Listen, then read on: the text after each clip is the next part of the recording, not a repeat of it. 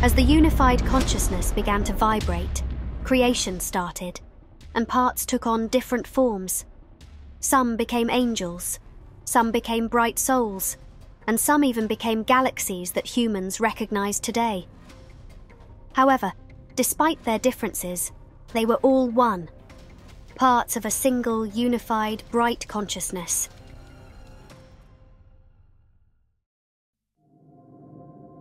In reviewing theories based on Cayce's readings, we come across a discussion that closely resembles ancient Persian mystical beliefs, revealing traces of ancient wisdom we've previously discussed. This belief holds that throughout history, certain individuals acted as guardians of this wisdom, passing it down through generations without allowing any opportunity for distortion or alteration. In this belief, many well known Persian mystics and sages were members of this mysterious and hidden group, and some even included parts of its teachings in their writings. Links to videos about this ancient Persian wisdom can be found in the description of this YouTube video. If you've watched those videos, some of the discussions in this book, based on Cayce's readings about Atlantis, may sound familiar to you. For example, Cayce explained that the human soul is part of a greater spiritual whole that has forgotten its origin due to a fundamental forgetfulness.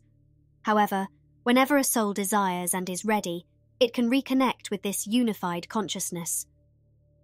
Cayce's psychic readings were also carried out through his connection to this universal whole, and for that reason, he didn't view his work as anything extraordinary. He believed that anyone could perform psychic readings by connecting to this unified source. He likened the relationship between the soul and the unified consciousness to a choir, where each member has a unique voice, but can create exceptional harmony when working together. However, through the course of the material world's evolution and human presence, some members of this choir fell out of sync with the unified consciousness. We previously discussed a group of souls residing in the spiritual realm who intervene to help souls trapped in the material world within human bodies. These souls intentionally entered physical bodies to guide humanity toward liberation from the material world. The leader of this group is named Amelius, who reincarnates at various points in human history as a guide, trying to reconnect human souls to their true essence. Jesus is also introduced as one of these guides with the added note that before his role as a saviour, he had reincarnated 30 times to gain the knowledge he possessed. It's further explained that the presence of souls connected to the unified consciousness in the physical world was initially unproblematic. They could return to the spiritual realm after each earthly life. The trouble began when these souls sought to create independently of the unified consciousness and used their creative power destructively humans still possess this creative power, manifesting as mental and intellectual energy, meaning that one's thoughts hold far more significance than spoken words. It is our thoughts and mental focus that shape our destiny. Whatever resides in your mind will become reality, and if you have a true goal in mind and sincerely think about it, it will materialize. This creative power also operates on a larger scale, and as people's collective thoughts become more positive, a better world than the one we know will emerge. In response to the argument that it's impossible to always avoid negative thoughts, Cayce explains that for every negative thought, a positive mindset can be adopted. Just as for every problem, there's a solution. Instead of focusing on the problem at hand or the one that may arise, it's better to think about solutions and the best ways to resolve the issue. Humans are not responsible for finding these solutions themselves. All the answers lie in the unified consciousness, which, in ancient Persian beliefs, is the same as the spiritual realm. Thus, humans are not the source of ideas and solutions, but are receivers of waves from the spiritual realm to solve their problems. Their only role is to choose between the different ideas and solutions available to them. With every choice they make, they shape the reality of their world. What we refer to as intuition or insight is similar. individuals receive messages from the parallel world, signaling an impending event and guiding them to act. Cayce holds a similar view on dreams, believing that dreams are a tool for receiving divine inspiration, and each dream shows us one of the paths ahead. If you've watched our previous videos, you're familiar with Cayce's views on astrology. He believes every human soul travels through the galaxies before reaching Earth, and some souls even resided on other planets before reincarnating here, gaining special abilities along the way. For example, in one of his readings, Cayce talks about a soul that took 10,000 years to finally reach Earth, acquiring powers and abilities along its journey that would benefit it on this planet. By examining his various readings, we see that Jupiter is linked to one's activities and relationships with large groups. A person influenced by this planet may excel in international relations or in leading and influencing large crowds. Mercury grants souls reasoning ability, and those influenced by it perform well in tasks requiring focus, planning, and multitasking.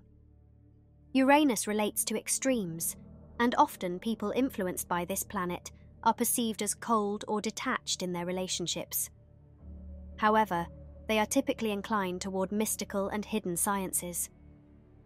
Venus endows souls with an appreciation for beauty, and those under its influence often pursue careers in art or fields associated with elegance and refinement. Mars incites anxiety and anger, and those affected by it must work harder to control their behaviour. In one of Cayce's psychic readings, he notes that while anger cannot be entirely avoided, a person's worth is measured by their ability to control it. In other words, the easier it is for someone to control their anger, the more valuable they are. Neptune is connected to intuition, hope, and dreams, but most importantly, Cayce emphasizes the power of water associated with this planet. Individuals influenced by Neptune have a special life giving energy, and, for example, whatever they plant on Earth is certain to grow and thrive. In one of his readings, water is described as a mysterious, transparent, odorless liquid that doesn't belong to Earth but is the foundation of life on this planet. Neptune, associated with the water element, is linked to mystical forces. Most important of all is Saturn, a planet we've previously discussed in ancient beliefs and will revisit. According to Cayce's readings, souls gain significant opportunities on Saturn, and once they enter its realm, they have the potential to unite with a unified consciousness. Thus, Cayce views the solar system as an educational centre with each planet functioning as a faculty that aids in the soul's development. If you've been following the ancient Persian beliefs with us, you've likely noticed similarities between this part of Cayce's readings and the beliefs of Mithraic followers. They too believed in the journey of the soul through realms beyond Earth, and their teachings aim to prepare each individual for the different stages of this journey and the ultimate exit from the material world. It's possible to consider the ancient Persian beliefs as part of the teachings attributed to the children of the Law of One in Cayce's readings, those who mastered the forces governing the universe and whose teachings focused on the nature of the human soul and the ways it could reconnect with the unified consciousness. In these teachings, humans consist of spiritual souls trapped in physical bodies, meaning they belong neither to this material world nor to the spiritual one. This dual existence often leads to a perpetual state of bewilderment. Moreover, the feeling of lacking a companion makes things more difficult. This companion is often referred to as a soulmate, meaning a kindred soul. The explanation is that the first human forms on Earth contained both male and female aspects, but for certain reasons, they were separated into two individuals while still sharing a common soul. Since birth, every person's soul seeks to find its other half, which resides in another human body.